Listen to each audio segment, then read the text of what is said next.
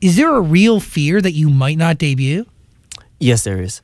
Because, um, I don't know. I, it's probably different for a lot of companies, but um, uh, I guess when from companies companies' opinion, um, if they think you don't have the potential anymore, they could just yeah, they can just Yeah.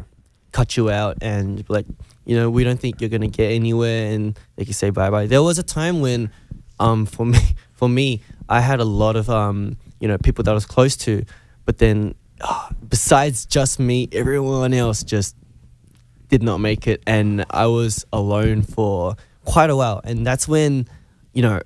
Like a lot of thoughts came in, and Slump. yeah, I I was in like a very dark stage of my time, and it was pretty hard. Mm. But getting through all that, um, I know, got my mindset to get a bit more clear, clearer. Um, these boys came in and yeah, they basically saved me.